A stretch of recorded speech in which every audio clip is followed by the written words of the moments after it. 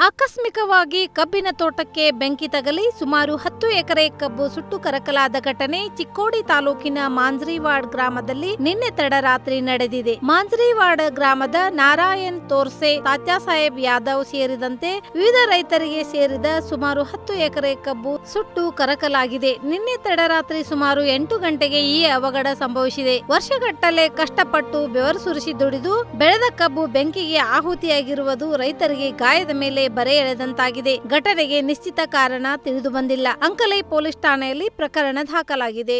ವೀಕ್ಷಕರೇ, ನಮ್ಮ ಸತ್ಯಂ ವಾಹಿನಿಯ ಪ್ರತಿದಿನದ ಅಪ್ಡೇಟ್ ಮಾಹಿತಿಯನ್ನ ತಿಳಿದುಕೊಳ್ಳಲು ಸತ್ಯಂ ಟಿವಿ ಕನ್ನಡ ಯೂಟ್ಯೂಬ್ಗೆ ಸಬ್ಸ್ಕ್ರೈಬ್ ಹಾಕಿ ಹಾಗೂ ಬೆಲ್ ಐಕಾನ್ ಅನ್ನು ಕ್ಲಿಕ್ ಮಾಡಿ.